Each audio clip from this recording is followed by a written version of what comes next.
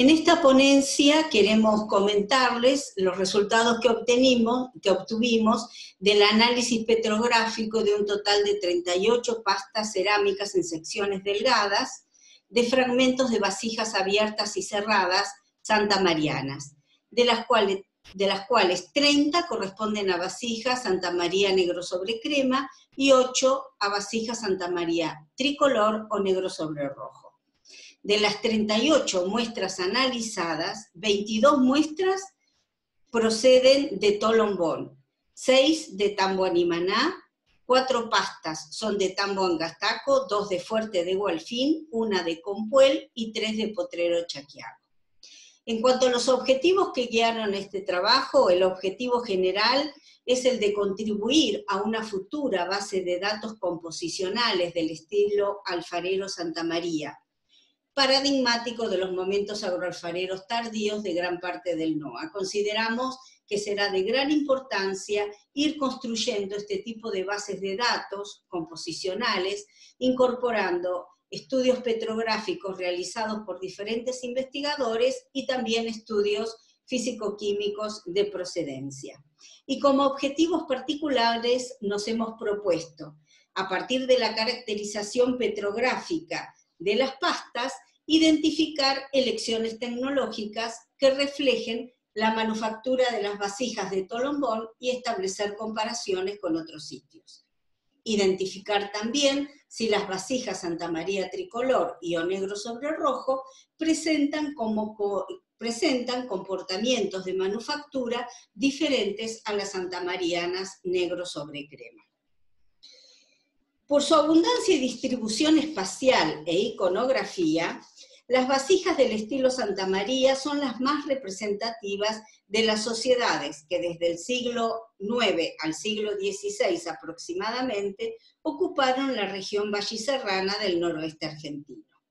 Para el Valle Calchaquí, Caviglia, Nastri, Baldini y Esprovieri han marcado diferencias en aspectos morfológicos y decorativos con respecto a las del Valle de Yocaví. Baldini y Esprovieri señalan que durante el periodo de desarrollo regionales avanzado es posible distinguir tres sectores en el valle, donde las urnas santamarianas poseen caracteres propios. La imagen que ustedes tienen a la derecha muestra la clasificación realizada por Baldini y Esproviere de las autor del análisis que han realizado sobre colecciones de diferentes sitios del Valle Calchaquí. Esta simplemente es una imagen satelital con la ubicación de los sitios considerados. Fíjense ustedes que Potrero Chaquiago está muy alejado de Tolombón, está en Andalgala, en Catamarca, y eh, lo, hemos incorporado simplemente para comparar con pastas analizadas años atrás para, ya que nos interesaba saber si los patrones de manufactura podían diferir notablemente o no, teniendo en cuenta la distancia. El sitio de Tolombón está ubicado 12 kilómetros al sur de Cafayate y a 1.750 metros sobre el nivel del mar. Alcanza una superficie de 35 hectáreas y presenta, como se ve en el plano, cinco sectores que suman unos 212 recintos. Eh, Tolombón ha sido em, calificado por Rey González como posible capital de una guamani incaica. Eh, si bien no se evidencia rasgos constructivos incaicos, la presencia estatal está indicada en su cultura material. Y además es importante señalar que de todas las cerámicas excavadas en Tolombón, por eh, Williams y su equipo, el 30% corresponden a fragmentos santamarianos. El Pucará y el Tambo de Angastaco, eh, a 1900 metros sobre el nivel del mar, em, consta de un Pucara con muralla, de muralla alrededor del sitio, eh, de unas cuatro hectáreas y media y a 180 metros cruzando la actual Ruta 40 están los restos de un pequeño tambo incaico. Todos los fechados que se tienen corresponden al momento incaico. Tambonimaná es un pequeño sitio residencial concentrado, em, conformado por 19 recintos cuadrangulares y rectangulares, algunos eh, pudieron servir como estructuras de almacenaje, eh, presenta muros dobles sin relleno y mm, tiene unos 1.300 eh, metros cuadrados de superficie. Tamboanimana es el único sitio incaico en la zona más baja de la Sierra de Quilmes, entre las sierras de Quilmes y el río Calchaquí, desde Animaná hasta Tolombón, y probablemente ha tenido un carácter secundario respecto de los importantes asentamientos de Angastaco y Tolombón. Bueno, por último, simplemente acá es para que ustedes vean los planos de los sitios de Potrero Chaquiago, Pucará de Gualfín y Compuel. En cuanto a la geología, podemos decir que en el área de Angastaco muestra formaciones de rocas representadas por metamorfitas, granitoides y sedimentitas. Las metamorfitas de la formación La Paya corresponden a filitas, esquistos micáceos, metacuarcitas, neises y migmatitas. Las rocas graníticas de la formación Pucara corresponden a granito rosado y las sedimentitas de la formación Angastaco corresponden a areniscas. En cuanto a la geología de la zona de Tolombón, también allí tenemos afloramientos de rocas graníticas, desde el oeste de Cafayate hasta la quebrada de Tolombón. A su vez, las sierras del Cajón, a la que pertenece la quebrada de Tolombón, están compuestas casi exclusivamente por rocas metamórficas, en este caso esquistos y neises. Las formaciones geológicas de Saladillo, San José y Tolombón presentan básicamente rocas sedimentarias. Son limolitas intercaladas con areniscas. Toda esta litología que hemos mencionado está presente en las pastas cerámicas estudiadas. Bueno, esto simplemente es para mostrarles los 38 fragmentos sobre los cuales se hicieron las secciones delgadas para el estudio petrográfico. Dos de estos fragmentos, el 190 de Tolombón y el 154, fueron identificados como de la subtradición Valle Arriba. En cuanto al análisis petrográfico, Em, lo que hicimos fue registrar los estados de atributos cualitativos y cuantitativos. Para cada muestra se confeccionaron fichas descriptivas que incluyeron color y estructura de los fondos de pasta, granulometría de la fracción no plástica superior a los 15 micrones, identificación de cristaloclastos, litoclastos, fragmentos cerámicos, nódulos arcillosos, sustancias carbonosas y óxidos, presentes tanto en el fondo de pasta, o sea, en la matriz arcillosa, como a partir de los 15 micrones. Se realizó la caracterización general de las pastas y de las cavidades en un microscopio de polarización Leica MP740 del Instituto de Geología y Minería de la Universidad Nacional de Jujuy. Se tomaron microfotografías en el microscopio, nícoles paralelos y nícoles cruzados, a escala uniforme. Esta tabla muestra la distribución modal mediante point counter, considerando un mínimo de 300 puntos por pasta, de los componentes, incluyendo también los porcentajes de matriz arcillosa y de cavidades. También en la tabla se indica por granulometría si se trata de pastas gruesas, medias o finas, y también la estructura de los fondos de pasta, si son pseudolepidoblásticas, microgranosas o en algunos raros casos em, grumosas o criptofilitosas. Y también indicamos si se trata de fragmentos santamarianos negros sobre crema o santamarianos tricolor. Con los datos cuantitativos, entonces, que correspondían a 14 variables, se aplicó cluster análisis con el programa de ordenar la información.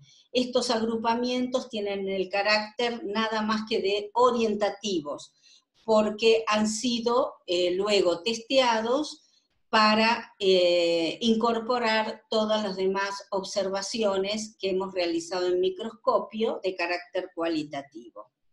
Em, se aplicó entonces cluster análisis usando el programa PAST. Este estadístico multivariado permitió encontrar agrupamientos jerárquicos en conjuntos multivariados de datos. A los datos de la tabla 1 se aplicó la medida de distancia euclidiana básica y el promedio de pares no ponderados.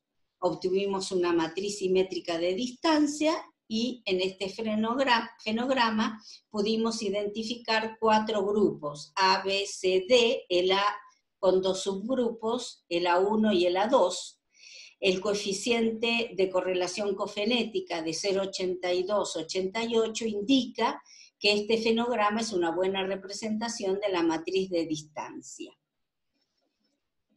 Cinco pastas, 29, 30, 38, 20 y 12, han tenido un comportamiento aislado, es decir, que no han sido incluidas en ningún grupo. Bueno, ahora veamos estos grupos. El grupo A es el más numeroso, representa el 32% del total de la muestra y corresponde a pastas con agregado de tiesto molido. El grupo 1 con 7 a 12% de tiesto molido agregado y el grupo 2 con 15 a 20% de tiesto molido agregado.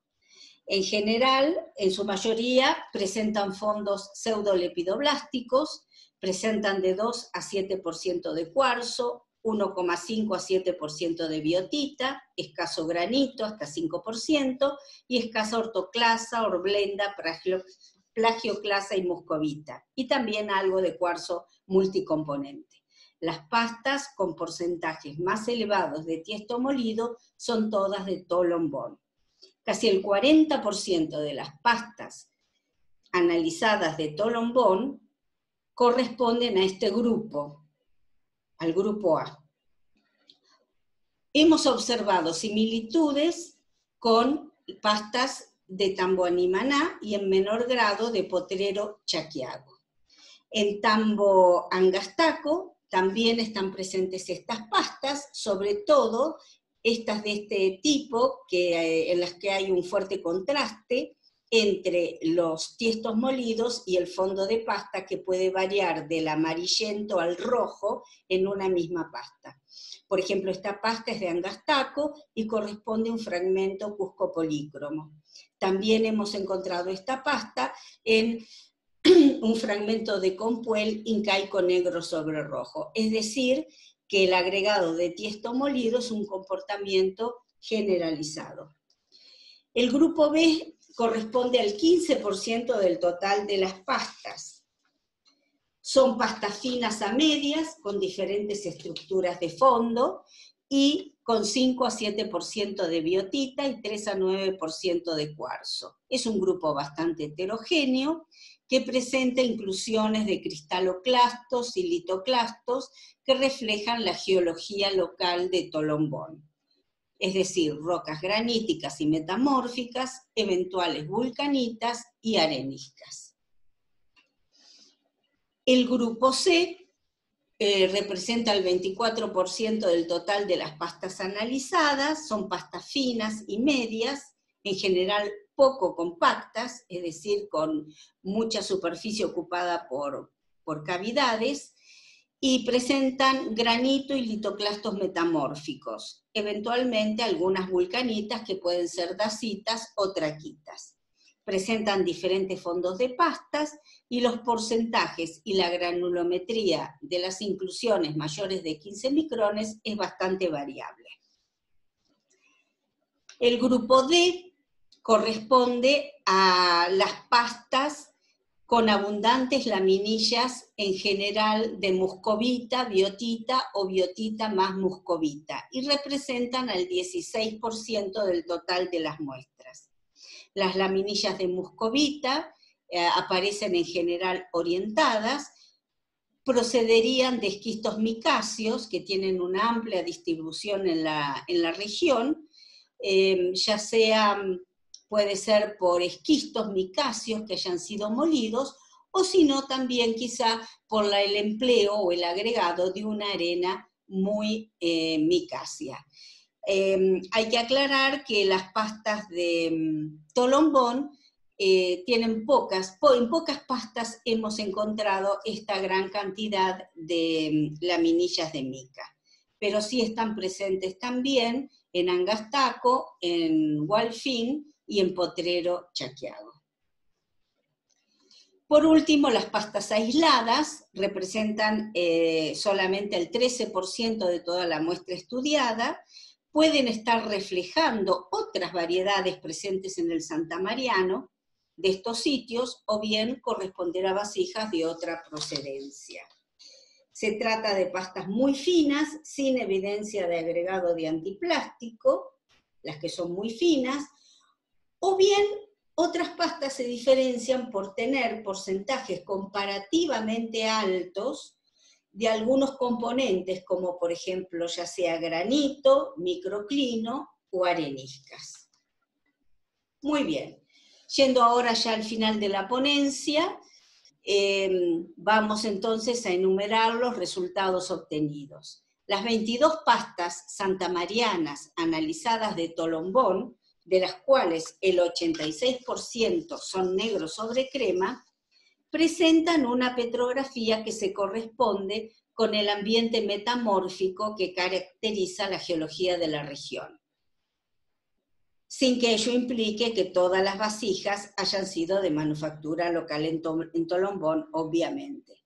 Se observa el empleo de arcillas diferentes, esto está indicado por los fondos de pastas, que, son lepidoblásticos o, y de distinta estructura.